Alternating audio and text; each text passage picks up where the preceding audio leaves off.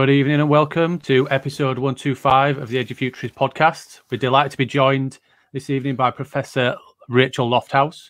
Rachel is a professor of teacher education and director of CollectivED at Leeds Beckett University. Yeah, Rachel has 30 years' experience as a teacher, teacher educator, writer, and researcher. Is working weekly with students, teachers, and school leaders, as well as being involved in a range of European projects. She is passionate about professional learning that crosses boundaries, brings educators from different sectors together, and respects individual motivations and authentic concerns that drive change. I don't know about you guys. Just going to break it there. It feels weird not having cameras on. I, am like, I don't know what to do here. I'm normally going right, Rachel. She's top left in the corner. Welcome, Rachel. But I'll have to do it without anybody being able to see. How are we doing, Rachel? I'm absolutely fine, thank you. Yeah. So you want to explain a little bit in regards to what CollectivED actually is and what it looks like at, at the university? Oh, I can. What does it look like? Well, there is a single plaque outside my office door, which I haven't seen for a year, um, and it says CollectivED. Um, what it is, is a network of practitioners, uh, researchers, and of course, uh, quite a lot of people cross that boundary in their own lives. They are master's students, doctoral students, they are teachers who engage in and with research.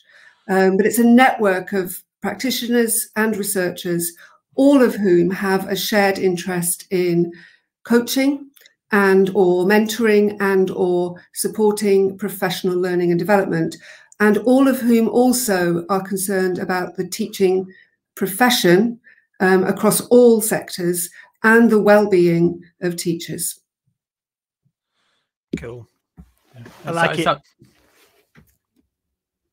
Sorry, Steve. It's weird not being able to see you because because that we'd be able to get some visual cues. Sorry. Yeah, um, it sounds really good. Um, and it sounds like that whole um, caring about teacher well-being is something that's obviously a massive, um, massive part of this, uh, and about teacher development. And I think hearing that that that's kind of central to what this happens. He's, really like music to all of our ears who, care about teachers and are watching teachers struggling now, um, watching teachers getting harangued in the press as as as schools being closed and all that nonsense that we hear.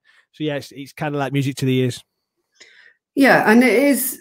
Uh, you know, we're not specialists in well-being or mental health, but what we are all interested in is that is that intersection between how teachers work and learn and how they feel about the job they're doing and how they fit the job they're doing into their other uh, wider personal lives. Because if you can't fit that job in um, and you don't feel good about that job, then it's very difficult to thrive. And obviously, what we're all interested in is the very best outcomes for children and young people. And they cannot possibly be achieved if we've got a profession that is fragmented or on its knees or on the way out. Fortunately, we know that you know the vast majority of teachers hang in there um, and they really do um, pull miracles out of out of dust. Um, and we're there to help and support them, but also to understand how they do it, so that we can share that practice with others through through research it's really interesting, isn't it? Like one of the we we talk about kind of the impact that that lockdown and and and school buildings closing has had on education in the wider world, but one one of the massive kind of side effects is, and I, and I don't know if, if you're saying this as well, Rachel, is that teachers are, are kind of taking back ownership of their own CPD in terms of going out onto the internet, finding webinars, and kind of the amount of of free CPD that that seems to be out there now um, is is is amazing, and and being in the second being in a secondary school and kind of having that perspective, there's so many teachers now just going off and finding their own CPD and actually spending their own time doing it as well. Yeah, I was talking about that earlier on actually, um, and I think it's it's a really am amazing phenomenon.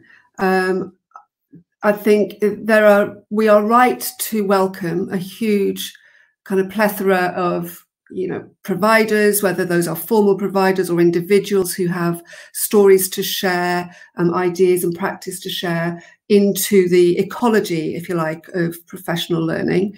I think the more people access that um, and access that if you like, under their own steam, motivated by their own interests, the more discerning teachers and school leaders will become of what it is that's truly supportive and helpful and groundbreaking, if that's what they're looking for. Um, hopefully, that means that they'll join lots of dots in their own practice and with their own colleagues. And hopefully that creates greater capacity in the system. It, it, does feel sometimes like a bit of a wild west. It's not always all that easy to discern, you know, what the credibility is of different CPD provision. But I do think most teachers are highly intelligent people and can quite quickly make judgments regarding that. Yeah, and I think with with with seeing, especially what I've noticed is is then kind of just uh, the teachers coming back into the school or the college with their own ideas and wanting to influence the direction that teaching and learning is going on. So it's almost like it's it's it's starting like a bottom up um, kind of mini revolution within within what teachers how teachers continue to train themselves. So it's because I think in recent years, and, and correct me if I'm wrong, but this that we seem to have got a a lot of top down this is this is what we're gonna this is what we're gonna train on this is how we because this is how we want the direction of the college or the school to go.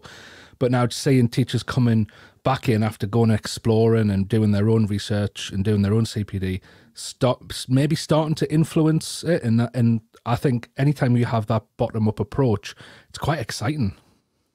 I think it is and i think there's lots of possible ripple effects um, and one of those, and I really hope this comes about, is a recognition by teachers about, if you like, the potential avenues and ways in which people learn.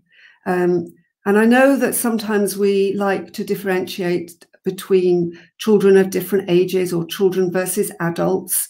Um, but if we start to, to connect um, the ideas that teachers gain and the way in which teachers gain those ideas through more informal networks, through inquiring for themselves about what they're interested in, seeking out opportunities, then it is possible that that will begin to influence the way they see opportunities for their own learners evolving and opening up. This sounds like amazing that teachers can have some kind of autonomy about their own development. And I know that's something that Steve's really passionate about in terms of uh, he talks quite a lot about personalization of um, professional development that it's not just that one size fits all that everybody has to do the same stuff. Um, as as if like you've been teaching 20 years and you need the same thing as somebody who's been teaching two. Uh, it, it, that kind of notion is is still prevalent in schools and colleges isn't it? I wonder i wonder if there's um there is a danger though, and I'm not saying this is the case or whether it's my opinion or not. I'm just trying to just look at the other side as well. Is that if if you have lots and lots of voices into this is how we should develop and this is what we should try. So this this group says we should do Kagan, and this people this group says we should look at thinking hats, and these people think we should do X, Y, and Z. Does it does it dilute um, if we're going if we if we get a bit too broad? Oh, that's interesting, isn't it? Um, I think I think what we have to do is we have to become more comfortable with diversity of expertise um, in education. We have to acknowledge that learners are likely to thrive when they come across teachers who are able to each offer something that's unique um, that's well suited to the curriculum area. You know, there's no, you can't detach uh, the, the approaches to pedagogy to the nature of the curriculum, um, and is also well suited to the individual learners, but is not um, slavishly driven by a formula which somebody has assumed is the correct way to teach young people in 2021. Um, and that actually, the diversity that educators can bring um, really could be an enriching element of the school experience for young people. And, and what I'm not saying here is that children and young people should just be exposed to pure random acts of teaching. You know, that they they get they get you know into a headspin because they absolutely cannot predict what they're coming to next when they walk into somebody's classroom. Um, that that wouldn't help anybody. But I do think that if we narrow down our understanding of what effective teaching is, and whether that is as a whole collective, you know, persuaded, for example, by the DFE or um, by an institution, um, you know, perhaps, um, you know, as a result of anxiety by a senior leadership team about consistency and continuity, then what we're likely to do is deprive children and young people of some of the opportunities that would exist if they were expo exposed to more diversity. The key thing always, of course, is gaining insight into where the expertise lies and continuing to build that expertise as opposed to just randomly throwing out there any old tactic for teaching that, that you come across.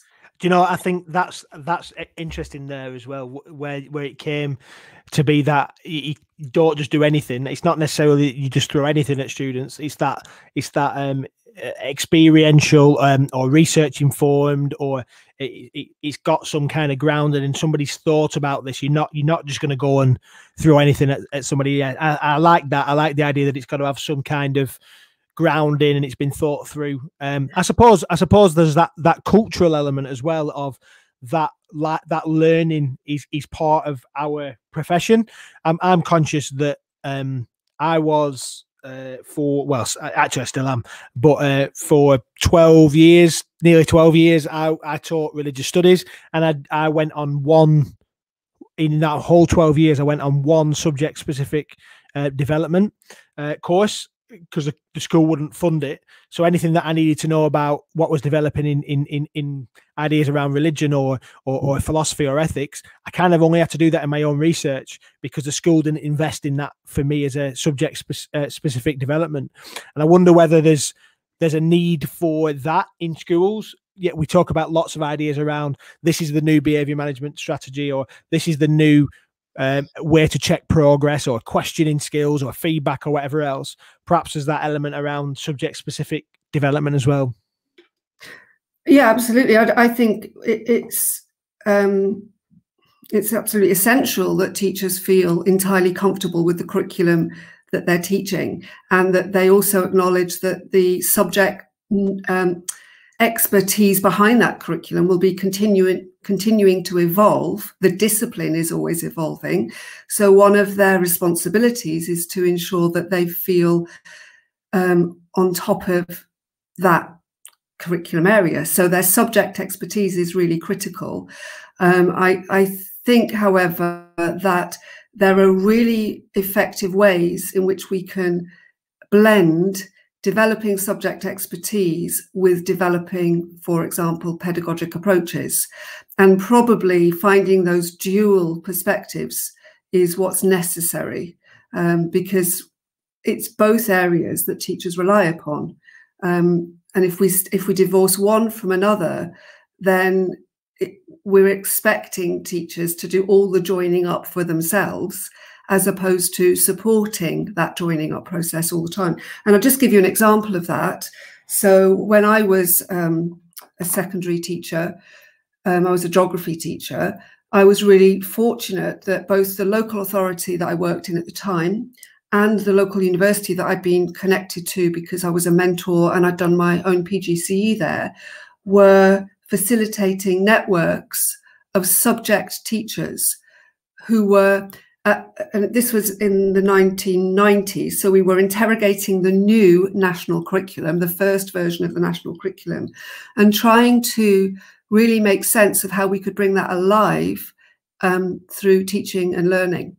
And one of the approaches that we really focused on was what we called at the time teaching thinking skills, but not teaching thinking skills as a standalone um, project, but teaching thinking skills really carefully and intelligently infused within the subject.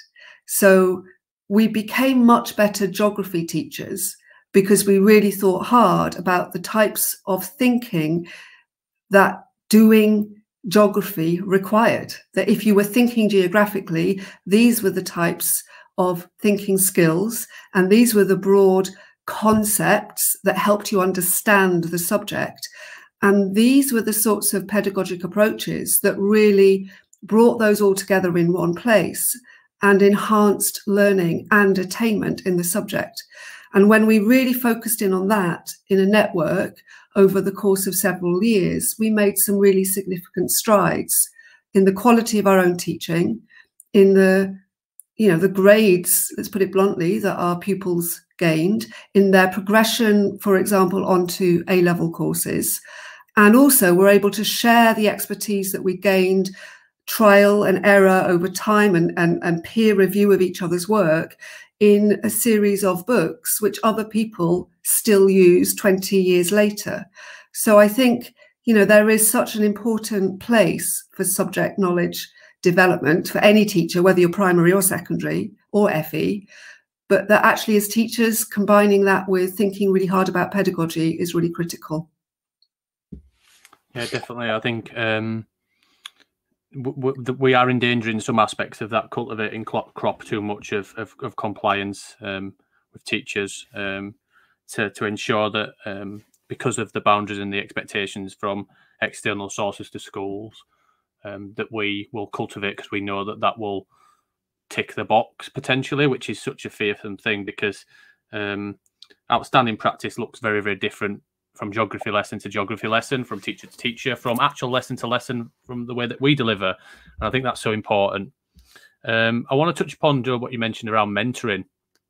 Um, and we talked about staff picking their own CPD um, and, and the choice and the diversity of that but also the importance um, of the role that you've played and the role that CollectivED is, is, playing around mentoring and coaching in education and the power of that. That I've done a PGC. We've, we're all sitting here. We've we've done postgraduate certificate of education, and and I remember not only my lessons, but the the strength of the person that was supporting me, that was going through, that had been through and and got the scars, but and and the, the support that they gave me not only on a on a on a PGC, but also in in all aspects of of professional development. How important do you think it is around having a mentor or coaching system, internally or externally, to support people's development so they can be their professional development and their learning can be shaped correctly, so they ha- they are guided um, through their choices. Rachel, I think it's really important.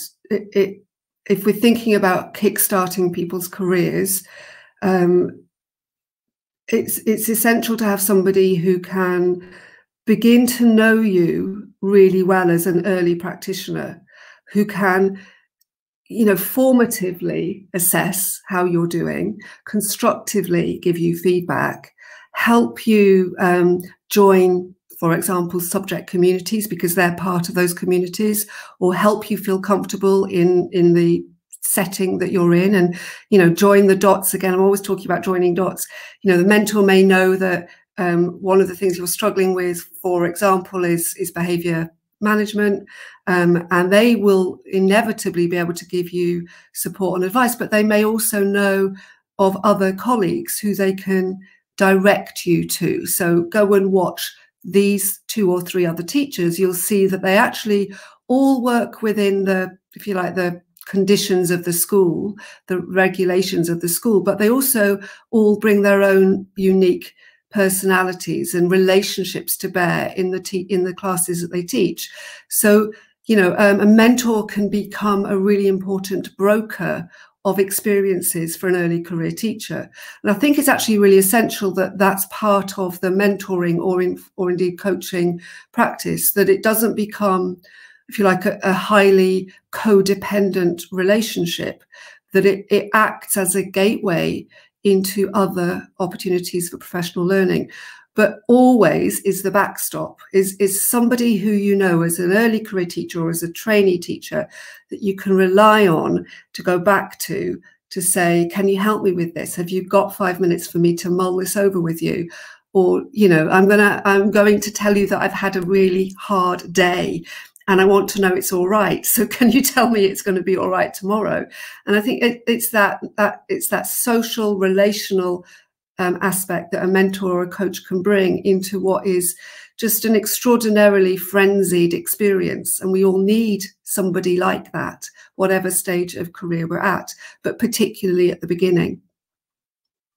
Yeah, totally agree. And I think it's that um, differentiation, and, and, there are flip flops between the two the differentiation between a coach and a mentor. Um, the support mechanism, but also the framing of, especially for for those people who have just gone into practice, just out of um, of, of their training, and saying, "I just want to get better." And here's a list of ten things that I want to improve over over the next few weeks, and then it's reshaping and reframing to what what should we start with and how let's explore that a little bit in terms of what let's unpick it. I think is so important, and and it's a it's a, a big skill base.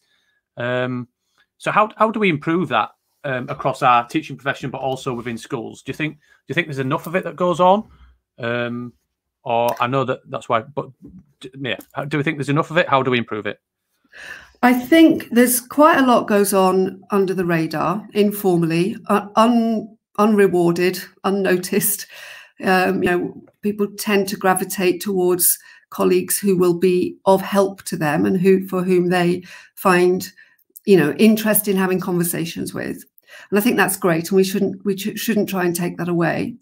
Um, i think that um, inevitably if you're following a formal program of training um, or now with the early career framework coming if you're in that induction period there is an allocation, there's an obligation, if you like, for the organization that you work for to provide you with somebody who is going to act on your behalf to help you to gain um, greater confidence and a, a wider repertoire of, of skills. Um, and I, you know, I think it's really essential that funding, uh, resource, and time is put into that, including into the training and development of those people. Um, I worry that we we often say mentors, for example, are essential and they're, if you like, they're woven into the fabric of this new program. But a lot of assumptions are made about who the best mentors might be or how able they are to fit mentoring in to their rest of their day job. I don't think we give, um, at the moment, adequate um, credit to the work that mentors do. Um, and I think we can, all of us, work harder to do that because I think what we're really in need of is almost a, um, not a subgroup within the profession, but a, a, a, a almost like a second professional status.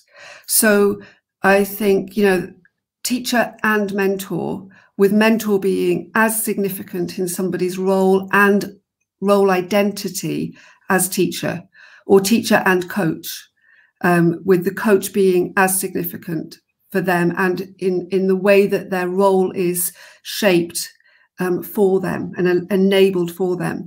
I think I think it's really important that we really raise the profile of those aspects of work. And I'm not saying that because I happen to be, if you like, just simply wedded to the idea of coaching and mentoring as the answer to everything, because it, it isn't. Um, but I do know, um, and we see evidence of it from both practice and research, that when coaches and mentors are well developed in terms of their practice and are well deployed, then they can make the world of difference. And they can make the world of difference both in an integrated fashion. So as part of a, you know, a, a CPD program, uh, where there's a mentor allocated or a coach allocated to support your development through that work, or in a more informal and organic fashion. You know, for example, where somebody finds their own coach, finds their own mentor, and works with them for a period of time. So I do think it's a really um, important um, direction of travel.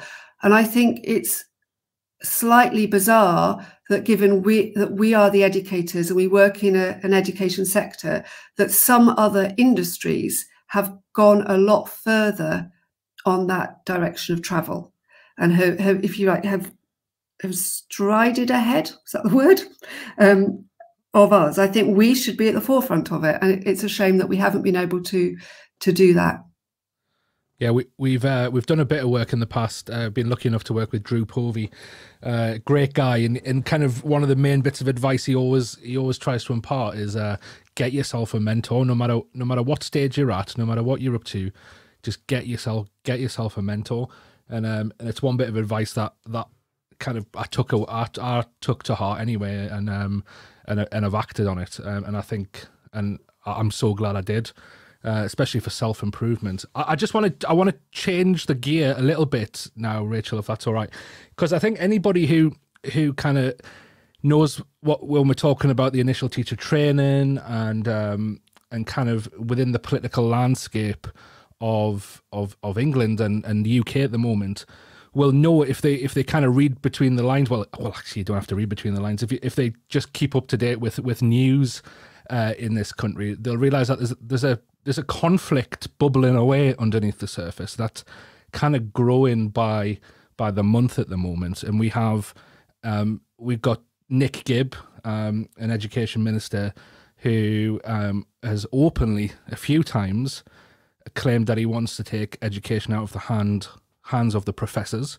Um, and we have just a few weeks ago the announcement of uh, the, an intention to start the government to start their own uh, knowledge-based teacher training program, um, which I'm guessing is is is their way of trying to do that. Uh, what what's your thoughts on all of that? That that's bubbling away, and do you think there's actually any legs in in kind of their intentions at the moment? Oh, that's a that's a really good question. I think it's um, it's a an absolute travesty that we are in a situation still 10 years on where the main policy for teacher education is to divide and rule rather than to work collaboratively. So there's a huge amount of rhetoric around partnership. Um, but rather than really allowing those partnerships to flourish, and to thrive over time and really examining the quality of them and the reasons for the quality and working to replicate best practice. There's a continual um, determined sense, I think, to invent new ways to spend government money to bring new teachers into the profession and to uh, control and influence the way in which they're trained. Um, I, I'm I've been a teacher educator for 20 years this year in two different institutions across two very different flavors of uh, government. And there was no way that you would argue that pre Gove everything was perfect. There were certainly some white elephants. There were certainly some you know, blind alleyways that we went down. Um, but what there was, I think, was a very genuine appreciation that we were likely to create the best possible profession if we drew on the widest range of expertise to support that. Um, and you could have argued that there were quite a lot of um, static partnerships it, from the outside, it might have looked like things hadn't changed for a long time.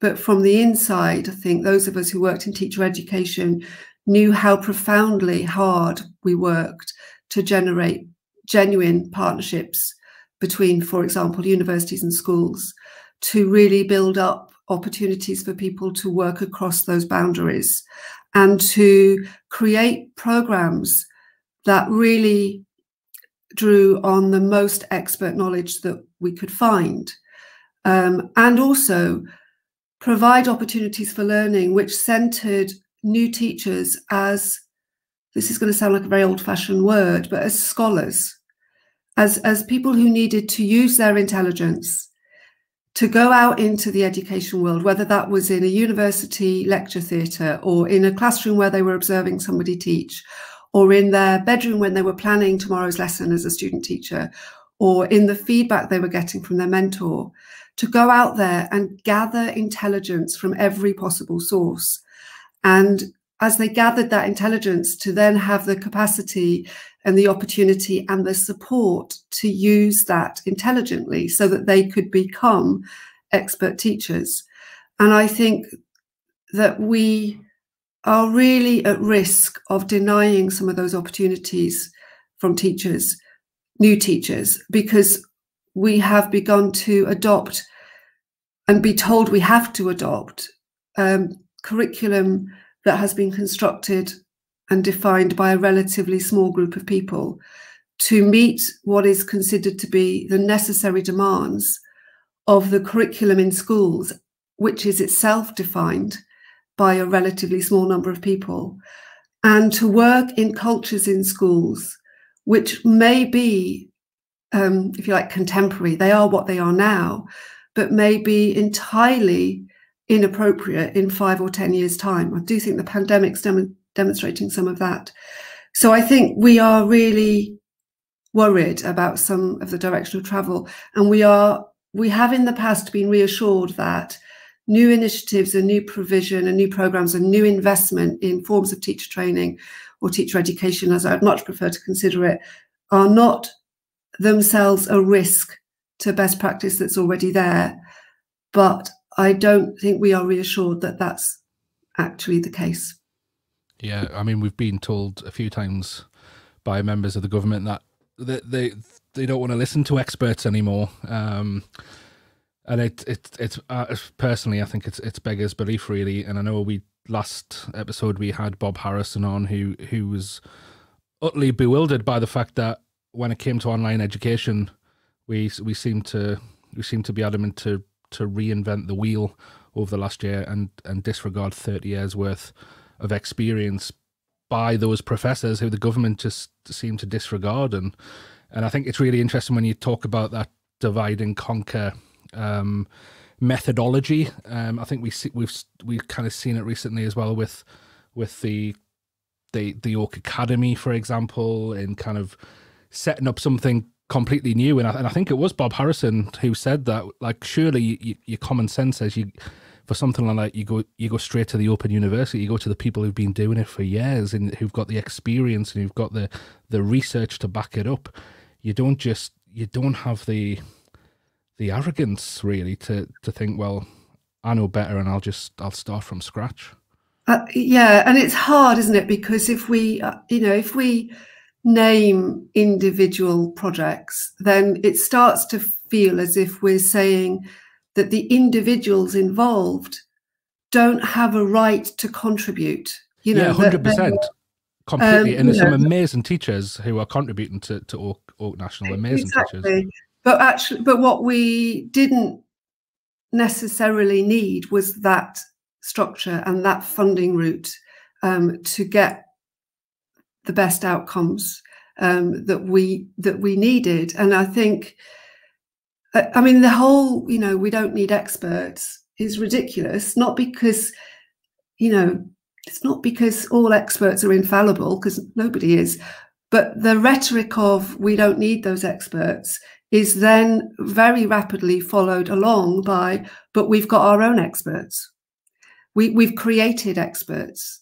Our experts are now the people that you're obliged to engage with positively and don't you dare criticize them.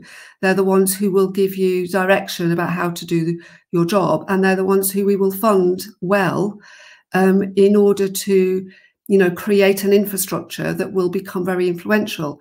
So I, I don't buy any of that we don't need experts and the, one of the reasons i don't buy it is because they basically say these are your experts now it's just it's it's nonsense. Yeah, and, and yeah, um, I said I won't go political, so I'm not. Um, yeah, I think that whole rhetoric. Of, whatever, whatever. No, I'm, not. I'm not. I'm going to dodge it. I'm going to dodge it. Um, unless uh, otherwise, we might release uh, Twitter Rachel rather than uh, and, and Rachel might dive into something, and, and she's doing a great job of of of, of, of not being political, which I which I do like. It's not so much um, I just don't need to be personal. I don't think we need to be personal about that. The but the the the it, I mean, I, I once okay, so the, uh, once upon a time I was headline news in the student newspaper at the university I worked in, Um, and the reason I was headline news is because a young Conservative member who happened to be on the teacher education programme took offence at a statement I made in a lecture. And the statement I made uh, was related to education being used as a political football, um, and that um, it, you know that education was political. Um, you know, the act of educating is a political act. The decisions that we make are political, but that didn't mean it should be used as a political football. Um, and I and, and that particular student took offence, um, wrote a letter of complaint to the head of school. You know, got frontline. I mean, not very many people were reading this student newspaper, but it was still quite a shock to be on it. And it, it was just, you know, just such a an odd situation to be in because actually, having said um, it shouldn't be a political football, but it is political, it was then being used as a political football. Um, so it is, uh, education is a political act. Um, we have to acknowledge that, I think.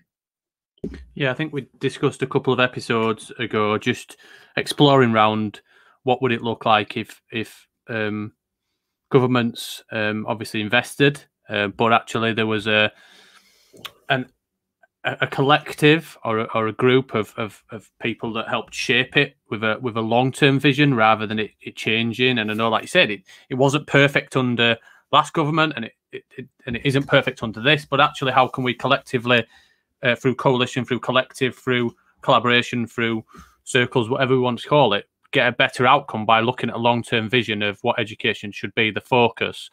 Um, because I just think, um, well, the one thing I've learned through the pandemic is um, potentially a lot of education in, in England has has become focused on if we don't have exams, then there's no need for learning anymore. And I think that's just from my point of view, where I come from, my beliefs, my values are that I just think it it, it makes me shake my head and it, it makes me worry that what what what are we trying to achieve if if that's the end goal? And I know that we need uh, measures and I know that we need assessment, but it, we shouldn't have see uh, people falling off a cliff edge in terms of their learning, saying we don't need to do it anymore if there isn't exams. And I think that's something that's been been there and played out over quite a few years now, and I think it needs yeah. to change. It and really does. Really interesting um, kind of exposure of that is how. When I've got a nephew who's in year 11, I've got friends who've got children in year 11. You know, I hear about other people's children on Twitter, for example.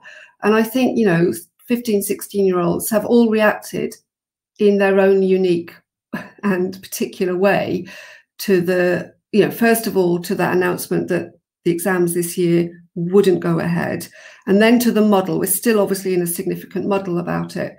Um, and the fact that, you know, some young people are absolutely devastated that they're not going to have an opportunity to demonstrate what they know in their exams, where while other young people are utterly delighted that they're not going to have to be put through that in order to have credit for what they know. Um, and some people may be a bit ambivalent and confused. You know, there's all sorts of reactions. I think the fact that we have got those very um, polarized reactions from the young people themselves illustrate how substantial a sway the exam system has over their entire secondary education. Um, I, you know, I'm not saying they shouldn't react. Of course they should, but it's only part of the jigsaw of their learning, and yet inevitably it evokes such immense emotional reactions and anxieties or relief. Um, and, and that tells me that we have narrowed our practices far too much around assessment. I couldn't I couldn't agree more. I couldn't agree more. We definitely have, have narrowed that. It's it's something that we these two are going to laugh. I'm glad I can't see the faces actually, um, because I harp on about there's nothing wrong with exams. There's nothing wrong with endpoint assessment as long as it is not the only measure. Um, and I think that's the key, isn't it? That we're what we're trying to suggest that it's not. It can be a measure. It's not not. It, despite our fearless leader, Mr. Williamson, believing it's the uh, the fairest and, and, best way to uh, to to assess pupils, um, it, it shouldn't be the only way. And I think that's what I think that's mm. where where we're saying, isn't it? And I think the other thing which is really revealing about it is how um, Okay, so I, I, you know, I'm 52 this month. It's a long, long time since I was teaching full time um, in a secondary classroom. But in the 10 years that I taught, um, I, I, I, taught in a high school and a sixth form college with a bit of year seven, eight, and nine um, along the way. Uh, but most of my classes were exam classes. Most of them were hundreds, hundreds of A level kids every year. It was hard work.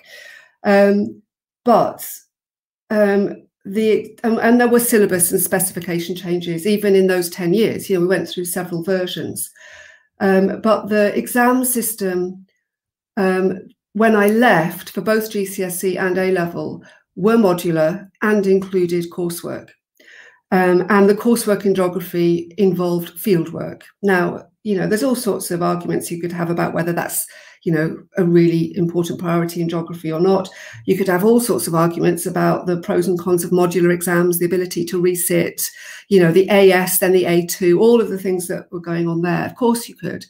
But one of the things that we as teachers had invested in us and invested time in was getting better at assessing our pupils learning and being confident that when we went through a moderation process, for example, around coursework, that it was fair. Um, and we didn't shy away from that. You know, we, we recognized it as part of our workload. Um, and we also recognized it as a way to really um, create interesting learning experiences for our pupils that we had some control of because we weren't waiting for that exam paper to be open to see what was on the test.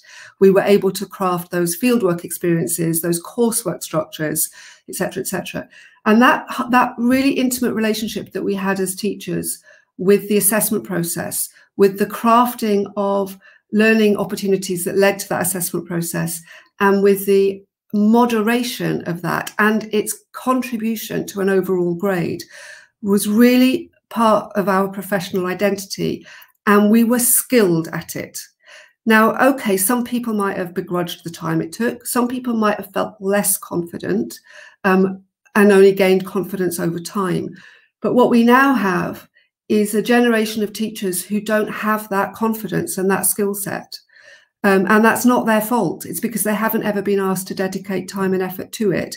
And because over time they've been, if you like, controlled into a system that doesn't even allow for modular exams. Um, so everything becomes this endpoint. So, and we also have the youngest generation of teachers in the whole of Europe. So we have a lot of teachers who didn't even, who, who've had similar school experiences that they're now generating for their pupils. So it, what what ama- what no, it doesn't amaze me, but what worries me is how quickly we lose our professional memory and we lose the positive legacy of the things that we used to do well in the past. When we most need them, they're not there to draw upon. And this, I think, is a good example of that. And it's also a good a good reason why mentoring and coaching that brings together different generations of teachers can be really powerful in maintaining that professional memory and maintaining the legacy of the good practices um, that we know have existed. Yeah, I agree. I think we're all uh, we're all waiting for each other to jump in there. Steve, did you want to did you want to say something there? Uh, yeah, I was just gonna. I, I know that you uh, a lot of your work is is is looking at European projects as well and and bringing experiences in and and and um, collaboration across um, countries. How does that influence in terms of? I don't always want to be the person who says, "How can we learn from others?" But is there not potentially everybody's getting right? But what have we learned, and what can we apply um, and do better? Is there any things that we're doing better, but also is there things that um, potentially we can learn from uh, that you've seen? Oh goodness, there's um well we could start listing all sorts of things um if you like doing top trumps of different countries with different um aspects of education. I think the most important thing that we can learn from others is that there are others working in education who have other approaches that are equally as effective as ours or potentially even more effective. and I think one of the problems that we have often is that if we point towards another jurisdiction and say, look what they're doing over there. So we had a good example of that yesterday on Twitter. There was a short video released of a school in Finland. And it was about the building and about how that building generated opportunities for collaborative uh, project work, for example, for mixed age classes and all sorts of things. And inevitably, um, there were a series of responses to that um, some of which I saw, um, and many of them were perfectly valid. So, you know, some people said I would have hated to be at school in a building like that. Some said I couldn't teach in a building like that. Some said that would be wonderful if we could. I would love to, you know, adopt those sorts of, um, you know, holistic approaches, in, which which combine building curriculum and pedagogy in different ways to the way that we do it. And, uh, you know, everybody's opinion is valid, everybody's experience is valid. But what we can't deny is that the way we do things here is the only way to do things here. And the things that we can imagine resulting from the way things we do things here are the only possible futures um, for education. And the, the greatest benefit to me personally, and I hope that I can share with others by bringing them into projects or talking about projects, is just that recognition that there are so many good ways to provide education and that we can always learn from others and that we don't need to be um, if you like denied our imagination as educators that actually that imagination is really really important and of course, we can argue that some types of schooling work in some cultures because of the culture, as opposed to because of the schooling. But what we can also start to interrogate is the extent to which types of schooling create cultures that go beyond the school walls, that become intergenerational, that become societal. And I think we can really start to explore that in a way which is which is both really, you know, exciting and also highly productive. And I'd love to do that more, even more than I'm able to. Um, I really worry about Brexit, not just as a political uh, phenomenon, but because it has really practical repercussions on opportunities that teachers have. So, for example, we're currently working in an Erasmus project. The one of the phases of that Erasmus project is bringing teachers together from six or seven different countries on training programs our teachers in England will not be able to be funded through the Erasmus scheme because we're no longer in the Erasmus scheme, whereas the teachers from the other countries will all be able to be funded to attend those training opportunities. And little things like that close doors, and that's not very helpful.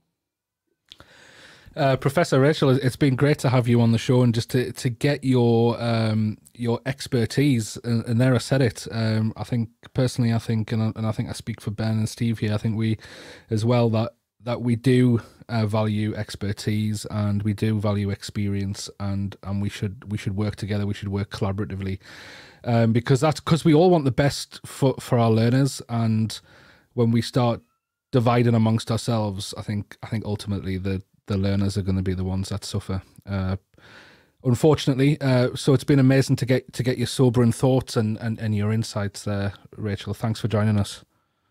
It, you're welcome, and and I feel like we kind of went on a bit of a sober end point, didn't we? But I do also believe that the most important thing we can do is celebrate each other as educators and and open our hearts and minds really to each other as educators and, and, collaborate in such a way that we learn to be the best we can be. Yeah definitely. Um, yeah i couldn't agree more.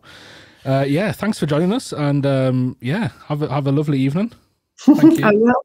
i'm off to make my dinner now. Thanks you. rachel. Cheers rachel. thank you very much